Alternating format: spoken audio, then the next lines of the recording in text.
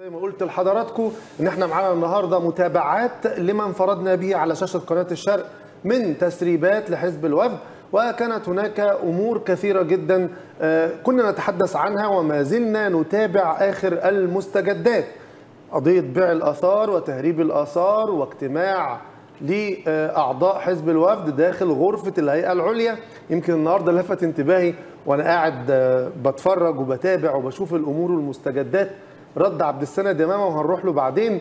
لكن سبحان الله وأنا قاعد بتكلم عن الفيديو المسرب يوم ما كنا منفردين بهذا الفيديو هنا على قناة الشرق في الشارع المصري لفت انتباهي جدا صورة سعد باشا زغلول. وقلت لهم يا جماعة طب أنتوا لو بصيتوا حواليكوا هتلاقوا اللي أنتوا بتعملوه ده عيب وما يصحش. وقلت لهم يا جماعة ده انت فوقيك صورة سعد باشا زغلول. تخيل تخيل يا مؤمن إن هو النهارده رئيس الحزب. كله عبد السند يمامه كله طالع يقول لك إيه؟ أصل الصورة بتاعه سعد باشا زغلول كان تحتها علم مصر وعلم حزب الوفد. وفي الفيديو مفيش ولا علم مصر ولا علم حزب الوفد. طب أنت رد فعلك يكون إيه؟ من غير طبعا ما تطلع أي أصوات ومن غير ما تعمل أي حركات ومن غير ما تقول أي حاجة أنا واصلني رد فعلك لو أنت إنسان عاقل بتسمع الكلام ده. من المفروض شخص اسمه رئيس حزب الوفد اسمه عبد السند يمام طالع يرد على فضيحة كبيرة زي دي. بالطريقة دي يبقى أنا مقدر يعني اللي أنتوا ممكن إيه آه تعملوه. بس خلونا النهارده نقول إن المستجدات كلها كويسة جدا وبتقول إن آه في قبض على قيادات بارزة في حزب الوفد بتهمة بيع آثار مصر. ويمكن آه أنا فاكر البوست بتاع زياد لما قال أنا مش هسكت غير لما أقدم الموضوع كله. أمام النيابة العامة والناس دي لازم يتحقق معاها والناس دي لازم تقف أمام القضاء عشان يتحاسبوا على هذا الأمر الكبير. النهارده ياسر اللضيبي سكرتير عام حزب الوفد قال وفي عدد وحضور كبير من القيادات البارزة للحزب قال إن هو تم القبض على اللي هو سفير نور اتقبض عليه النهارده وكمان بيتكلم إن هو عبد الوهاب محفوظ اللي إحنا كنا قلنا اسمه عبد الوهاب محفوظ واللواء شرطة سفير نور وأيضا آه، مساعد وزير الداخلية الأسبق اللي هو اللواء آه، شرطة سفير آه، نور ده. ده تم القبض عليهم النهارده يا جماعة وتم احتجازهم في شرطة الدقي عشان يبدأوا التحقيق معاهم في القضية المعروفة اعلاميا دلوقتي بفضيحة بيع الآثار المصرية. طبعا يعني هم تم الإفراج عنهم بعد كده. بدون ذكر أسباب الإفراج وده اللي قاله ياسر الهضيبي يعني ده تصريح ياسر الهضيبي بالقبض عليهم وتصريحه أيضا بالإفراج عنهم لاحقا بدون ذكر أي أسباب للإفراج عنهم بعد ما تم القبض عليهم. في الحقيقة موقع أخبار الغد هو الموقع الذي استطاع أن يثبت للجميع وعبر الكرنيهات شخصية الشخص الثالث التي يعني اسمه أو صوته ظهر في الفيديو لكن محدش كان عارف هو مين. على الأقل كان في حالة إنكار لهو مين. تعالوا الأول نشوف الفيديو مرة أخرى نتذكر في الحدث ونتأكد من الجريمة ونرجع للكرنيهات اللي أثبتت مين هو عبد الوهاب محفوظ. حتة ولا هو حتتين بيقول إحنا هنتعامل فيهم الأول لكن هو عنده مكان كبير بس هو عايز ياخد الأمان. مش عايز الامان آه. أقول لك أنا بقى حل تاني. اتفضل. هتصور لي الحتتين وش وظهر والجنبين. آه. بس فيديو باللي هقول لك عليه. آه. هتكتب لي الدكتور طارق. تكتب الدكتور طارق. وتعمل لي التاريخ بكرة وبعده وبعده. لو هتصوره النهارده النهارده كام؟ مم. 25 هتعمل لي التاريخ 26 و27 و28 وتكتب لي الدكتور طارق. ده الرمز. آه. وهتبعتهم لي لا هو الحكاية إن هو ما بيفرطش هو ممكن يجي هو بالتصوير لكن إن هو ما بيسيبش. هو بيشوف بص بس. ما أنا هقول لك بقى هو أصل أنا أنا عايز أقعد واقعدك معاه. ماشي. ده ده ده الحل الوحيد صح يا سفير بيه؟ الحل إن أنت تقعد اسم. يا باشا في صفقة كاملة قطع آه، أثرية كاملة. قطع أثرية كاملة. تعالوا نشوف مين هو الشخص الثالث ويعني موقع أخبار الغد هو اللي, اللي وضح مين هذا الشخص.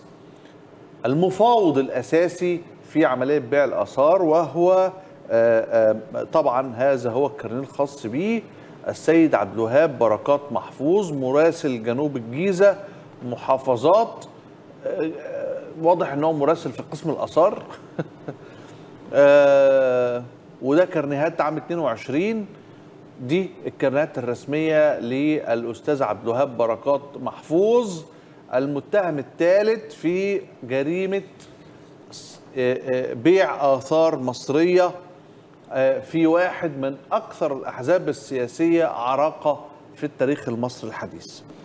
في النهاية آه، لازم تشوف معانا الوضع عامل إزاي. الوضع زي ما أنت شايف كده راجل على الأقل يعني مراسل صحفي متورط المتهم الثالث لواء ومساعد سابق وزير الداخلية متورط مكان آه، وقوع الجريمة والتصوير داخل مقر اجتماعات الهيئة العليا في حزب الوفد الأكثر تسجيلا واحدة من أكثر القاعات اللي الج- الجهاز الأمنية المصرية سمعها بوضوح. والناس دي رايحة تعمل فيها اجتماع بيع آثار طيب قبل كده أحمد في وقت سابق يا جماعة عشان نفكركم برضو إحنا ليه النهارده موقع أخبار الغد اشتغل وبدأ يعمل هذا الشغل والتوثيق وإن هو يجيب الكارنيه اللي بيثبت هذه الشخصية؟ لأن رئيس حزب الوفد السيد الدكتور عبد السند يمامة كان نفى أصلا علاقته بعبد الوهاب محفوظ ده وقال لك يا جماعة مين عبد الوهاب محفوظ ده, ده أنا ما أعرفوش ما شفتوش ما فهموش ولا له علاقة بالوفد. ولا نعرفه ولا من قريب ولا من بعيد. سبحان الله كأن مقر الحزب في الضوء أي حد معدي كده بيخبط يخش ويخش الغرفة بتاعت الهيئة العليا ويقعد ويصور ويتكلم في بيع آثار. تقريبا بيأجروا الأوض هناك مفروش لمدة ساعة ولا ساعتين لأي حد عايز يجي يعمل مؤتمر عنده صفقة عايز يعملها عنده بيعة معصلجة شوية مفيش كافيتيريا فاضية مفيش قهوة فاضية فبيفتحوا له حزب الوفد بقى سداح مداح يدخل أي حد كده يمر ويعدي ويقعد جوه الأوضة ويتكلم في حتتين آثار وبتاع والكلام ده كله. ويجيب سفير نور كمان يقعدوا معاه. يا جماعة احترموا عقول الناس واحترموا عقول البشر واحترموا التكنولوجيا اللي إحنا بقينا عايشين فيها بقى. والمصادر وال- والتواصل مع الناس.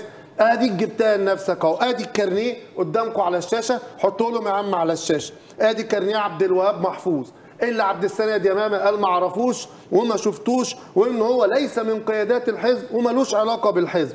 ادي الكارنيه بتاعه.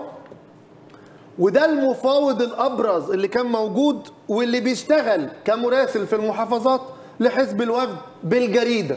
والكارنيه بتاعه قدام حضراتكم اهو. والكارنيهات دي على فكرة يا جماعة عندما صدرت هذه الكارنيهات صدرت بتعليمات من عبد السند يمامة نفسه. يعني عبد السند يمامة اللي بينكر هو اللي أصدر التعليمات بصدور هذه الكرنيهات وكان من ضمن هذه الكرنيهات كرنيه عبد الوهاب آه، محفوظ. طيب هل يجرؤ أحد لما يكون رئيس الحزب موجود وطلع كرنيهات حاجة فيه آي بي بقى؟ يعني رئيس الحزب بنفسه اللي نزل مش الراجل بتاع الاشتراكات لا. رئيس الحزب بنفسه طلع قال طلعوا كرنيهات لفلان. وهو بيطلع الكرنيهات لفلان بيكتب جنبها كده إيه؟ عبد السند بيه أمام رئيس الحزب. يا معلم يعني محدش يقرب. عشان تقدر تلغي العضوية دي لازم ترجع لمين؟ لعبد السند يمام مفيش حد هيجرؤ يلغي عضوية عاملها رئيس حزب لعضو في الحزب. تمام؟ فبالتالي الكرنيهات دي كانت بتعليمات من عبد السند يمامه وعشان كده كانت في شبهات بتدور حول هذه الكرنيهات وتلك الشخصيات أصلا اللي عبد السند يمامه استعان بيهم وجابهم وعمل لهم كرنيهات في حزب الوفد ووصلوا حزب الوفد لهذه الدرجة إن إحنا قاعدين بنتفرج على فيديو داخل غرفة الهيئة العليا بيتقال فيه حتتين آثار في المنصورية طب يا فندم نجيبها؟ لا اطلع صور لي البضاعة وصورها لي على ثلاث أيام ورا بعض. وبعد كده ده إحنا جبنا الحتة. طب الحتة مش عارف إيه ده انت بصيت بالنضارة؟ لا ده أنا ما بصيتش بالنضارة. ده انت عامل فيها خبير.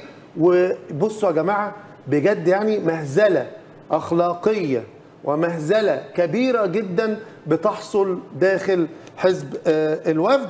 آه، عايز أقول لك كمان إن في في حاجة عايزين نقولها إن في قيادي وفدي قال إن مدير إحدى المستشفيات الحكومية قدم شكاوى لرئيس حزب الوفد بسبب تصرفات هؤلاء الأشخاص ولكن دون جدوى. يعني هم كانوا بيثيروا الشبهات. يعني اللي عبد السند إمامة دول جايبهم مجموعة الأشخاص دول كانوا مثيري للشبهات. هتحس كده لما تيجي تعدي ضابط المباحث كده وهو معدي في أي حتة يبص كده يقول لك هات لي الواد ده وهات لي الواد ده وهات لي الواد ده. تحس كده إن هو واد لبش. يعني تحس إن هو سوابق. تحس إن هو عنده حاجة. فبالحس الأمني وبالحدث الأمني كده وبالمشاكل بقى اللي بيعملوها بالتعاملات اتقال إن هم عندهم مشاكل كتير جدا. ولكن السيد عبد السند يمامة هو اللي جايبهم وعارفهم وعشان كده عمل نفسه مش من هنا.